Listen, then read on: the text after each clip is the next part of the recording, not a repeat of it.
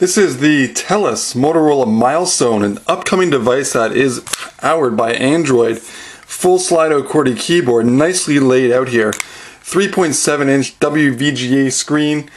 Got a 5 megapixel camera, autofocus, dual LED flash.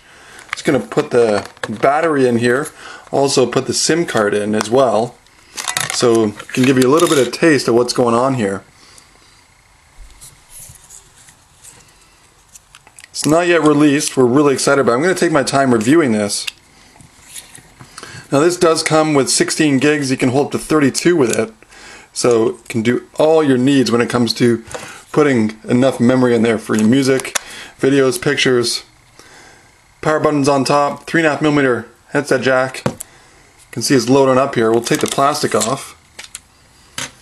Right hand side, you got your volume rocker. One touch button to the 5 megapixel camera. It's located on the back. While this is booting up, full QWERTY keyboard, really nice. It's got Wi-Fi. That's what it does look like. Really excited to test this out. As this boots up, it's not yet released as I said, will be coming up shortly. You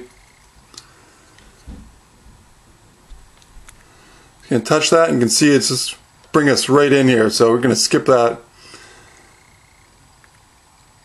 She'll do all this later.